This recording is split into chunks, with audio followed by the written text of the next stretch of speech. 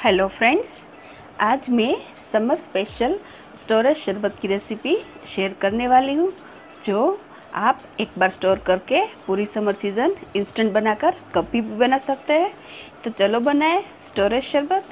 Ingredients में हमें चाहिए 250 ग्राम नींबू और 250 ग्राम शक्कर।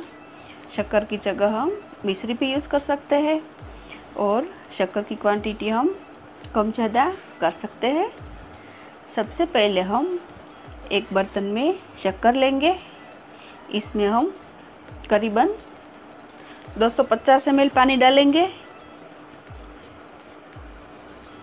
और इसे मीडियम फ्लेम पर मेल्ट होने देंगे।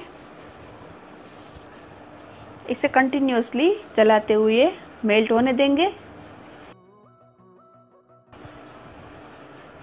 शक्कर को सिर्फ़ मेल्ट ही करना है।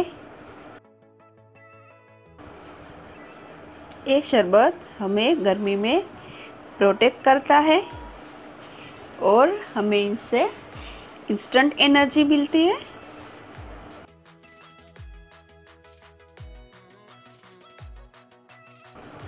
शक्कर मेल्ट हो जाए और बबल्स दिखने लगे, तब तक स्टोव पे रखेंगे।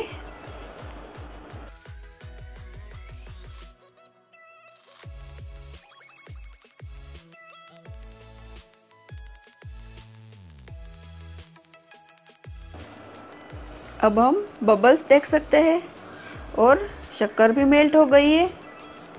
अब हम स्टोव की फ्लेम ऑफ़ कर देंगे और इसे ठंडा होने के लिए छोड़ देते हैं।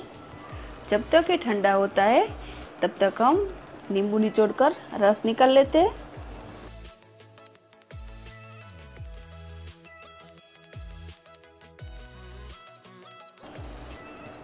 बस अभी ठंडा हो चुका है।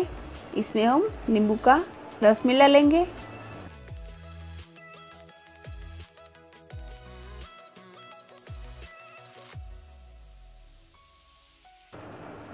तो तैयार है। स्टोरेज नींबू शरबत, इसे बोतल या एयरटाइट कंटेनर में भरकर फ्रिज में रख देंगे। और जब भी मन करे, हम एक गिलास पानी में दो चम्मच डालकर इंस्टेंट शरबत बनाकर मज़ा ले सकते हैं। फ्रेंड्स तो इस समर सीज़न में ज़रूर ट्राई करें इंस्टेंट नींबू शरबत। और हाँ साथ में आप अपने एक्सपीरियंस भी मेरे साथ शेयर करें और मेरे चैनल को सब्सक्राइब करें। Thank you